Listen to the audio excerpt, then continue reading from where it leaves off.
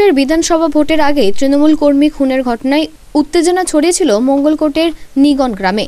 তৃণমূলের অভিযোগ, মঙ্গলকোট বিধানসভার নিগন অঞ্চলের একশো আটানব্বই নম্বর বুথ সভাপতি সঞ্জিত ঘোষকে বিজেপি আশ্রিত দুষ্কৃতীরা পিটিয়ে খুন করেছে। বুধবার সঞ্জিত ঘোষের মৃত্যুর এক বছর। এদিন সঞ্জিত ঘোষের স্মরণ সভা অনুষ্ঠিত হয়। পাশাপাশি একটি শহীদ বেদির শুভ উদ্বোধন করেন বিধায়ক অপূর্ব চৌধুরী। তৃণমূল কংগ্রেসের বুথ সভাপতি সঞ্জিত ঘোষের শহীদ বেদিতে মাল্যদান করেন বিধায়ক অপূর্ব চৌধুরী।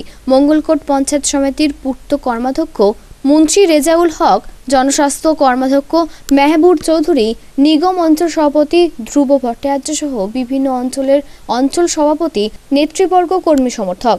স্মরণ সভা ঘিরে মহিলাদের উপস্থিত লক্ষণীয়।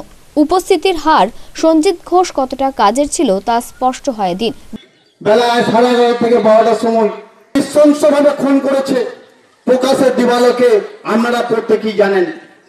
আমরা কিন্তু ভুলে যাইনি কালু ঘোষকে। আমরা আমাদের বলক নেতৃত্ব, সর্বোপরি আমাদের সবার বলক তৃণমূল কংগ্রেস, কালু ঘোষের পরিবারের পাশে আছে। কালু ঘোষের সমস্ত পরিবারের সকলের সঙ্গে আছেন। বিধায়ক অপূর্ব চৌধুরী সঞ্জিত ঘোষের পিতা সাগর ঘোষকে সম্মুখে কথা দেন তৃণমূল কংগ্রেস তাদের পরিবারের পাশে ছিল আছে এবং ভবিষ্যতেও থাকবে। করোনা পরিস্থিতি স্বাভাবিক হলে পরিবারের জন্য নেতৃত্ব স্থানীয় থেকে সব ধরনের সুবিধা প্রদানের আশ্বাস দেন। আমাকে খুবই দেখছে এবং আজও পর্যন্ত দেখছে। আজকে বিধায়ক এসে কি আশ্বাস দিলেন কি বললেন? আশ্বাস দিল বৌমায়ের কাজ দেওয়ার জন্যে। কাজ একটা এখন দেবে এই পর্যন্ত। আর দল আমাকে খুবই দেখছে। এই যে আপনার ছেলের এই কাজের জন্য যারা জড়িত ছিল তারা কি এখন শাস্তি পেয়েছে এখন তারা? না এখনও পর্যন্ত শাস্তি পায় না তারা বাইরে ঘুরে বেড়াইছে।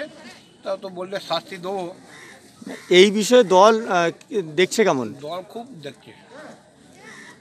দল কোনো অসুবিধা নেই দলের।